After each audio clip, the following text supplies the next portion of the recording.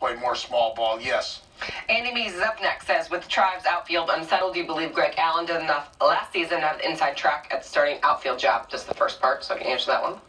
Well, he's a switch hitter. He's got that going for him, so that's a real positive. Um, I like the way he carries himself out there. But Leonys Martin is the veteran. I mean, you could rotate those two guys in center field. Naquin's going to have that right field spot. I think he wants to use Bauers in left more than he does at first because he doesn't want to put Santana that much in left field. That doesn't mean to say he won't, but um, Santana has developed into a very good defensive first baseman.